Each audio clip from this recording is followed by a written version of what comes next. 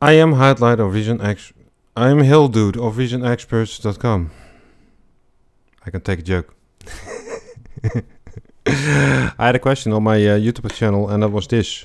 I was wondering if there is some way of smoothing the steps in the curve sequence in a matrix pattern device. Uh, this post was made by uh, Julian Bishop um, and he's also referring to the Scream 4 unit.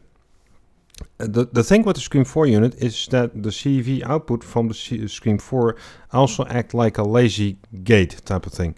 Um, so it makes perfect sense that you could mimic this behavior by using the CV output from the Scream 4 unit.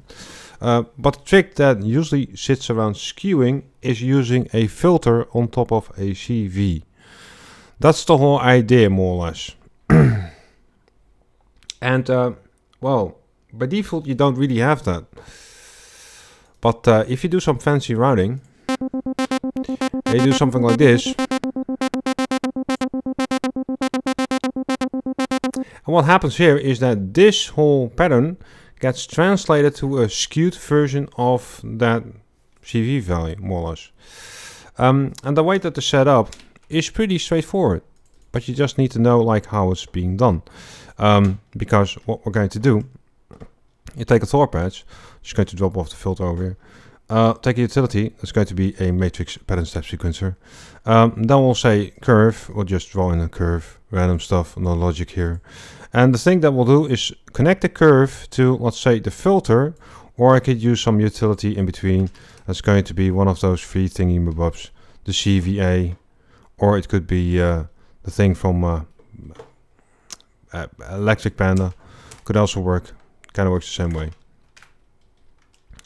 The next thing that we'll need, uh, the next thing that I'll need is a thing like a Thor patch, and this is going to be my CV skew filter. I'll just call it that because that will, that's what we're basically going to do. We're going to filter out the CV values. So the curve goes inside of the CV input one right there. Um, then we'll say show programmer We'll turn this off. We'll turn this off right here. And the thing that we're going to do is use the CV value from here and connect this directly inside of the filter 3 slot itself. And then you think to yourself like, but that doesn't work. Nope, it doesn't. It doesn't because now we're translating the CV input to a audio signal.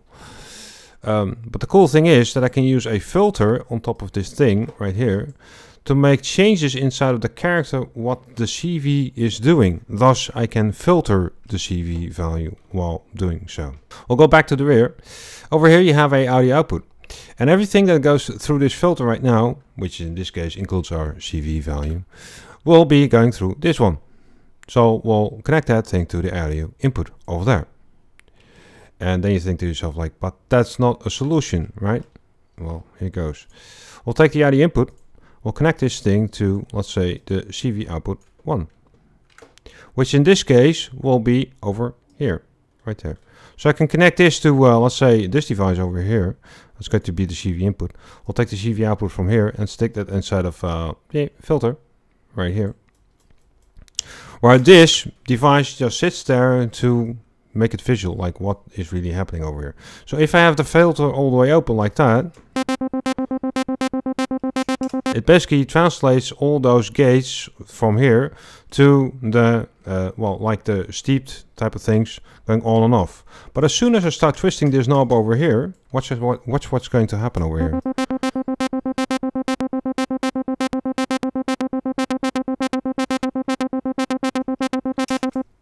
Ta-da! Double rainbow. Right? So next thing that I can do is over here is say modify Rotary 1. I'm going to use the Rotary 1 to open up the filter while doing so. So this becomes my skew value. So if I have that thing all the way down and open it up like that, I'm basically opening up the whole skew factor while doing so. Thus, I'm reducing the artifact that it basically skews. Is it actually skew? I'm not really sure anymore. If you want to do that exact opposite way, like, uh, well, turn that into a skew value by opening it up, you can also do it like this. Take the whole thing to negative and then take the filter frequency all the way to open, like this. So now I'm starting off with the normal values, but while opening it up,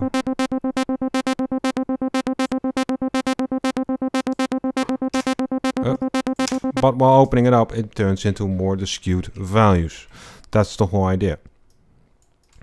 So that's a little bit like a trick. But in this case, I can also, I'm just going to throw this as an additional value over here. I can also use this as a CV manipulator if you want to be my guest on that whole matter.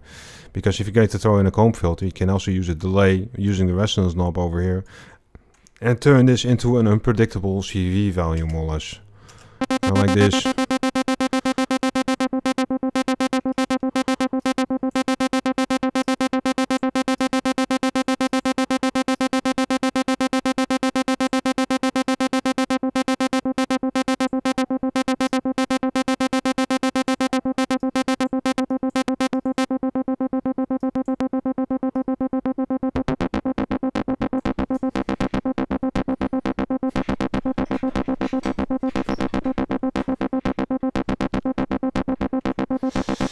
It's a different thing. But okay, skewing is done by using a low pass filter because in that case you're actually uh, low, uh, cutting off the, the, the CV values.